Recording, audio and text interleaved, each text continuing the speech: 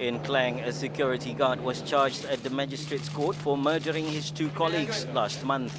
No plea was recorded from Muhammad Ferdaus Suwardi when the charges were read out before magistrate Nor Asma Ahmad.